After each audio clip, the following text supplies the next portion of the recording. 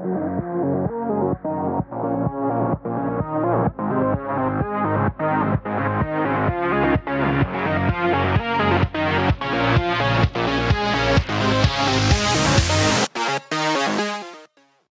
is March 27th, National Joe Day.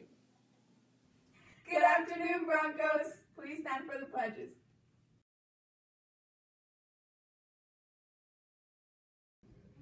I pledge allegiance to the flag of the United States of America and to the republic for which it stands, one nation, under God, indivisible, with liberty and justice for all.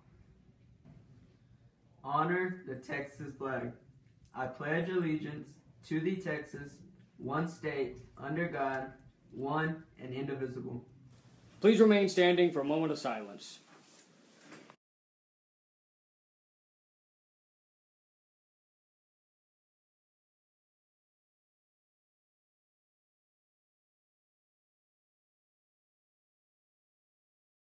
Odessa High's Janessa Ortega signed to play volleyball at Brewton-Parker College in Georgia today.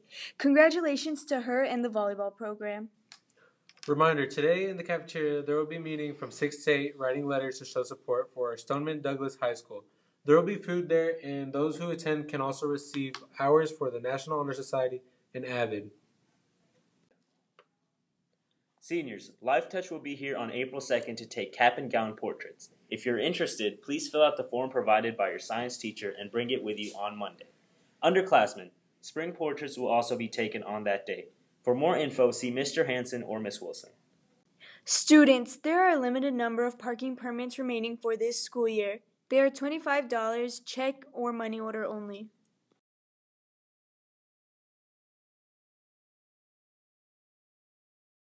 Just a reminder that prom 2018 will be held on Saturday, April 21st in Barn G from 8 p.m. to midnight.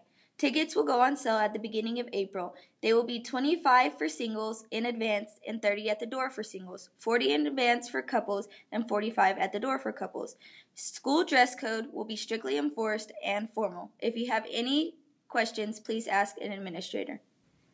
Will be having a dual credit parent information night on April 11th at 6 p.m. It is recommended that you attend this meeting in order to begin dual credit classes.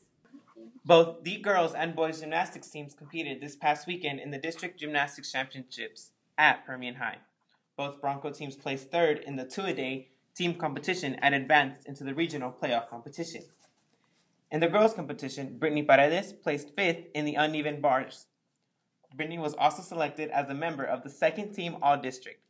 Krista Johnny and Priscilla Lopez were honorable mentions. In the boys' competition, Boa Johnny captured the district title on the pommel horse. Nick Drakis was third in all around and parallel bars, second on the floor exercise. Nick Drakis, Jared Villegas, and Boa Johnny were named first team All District, and Adrian Ariola and Isaac Estrada were honorable mentions. Please congratulate these fine young men and women for their outstanding performance and achievements. The regional gymnastics competition will take place at the Permian High School Field House on April 13th and 14th. Wishing a big happy birthday to the following students.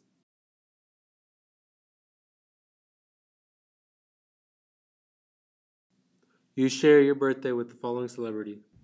That's it for today's Bronco News. Tune in tomorrow for some more announcements.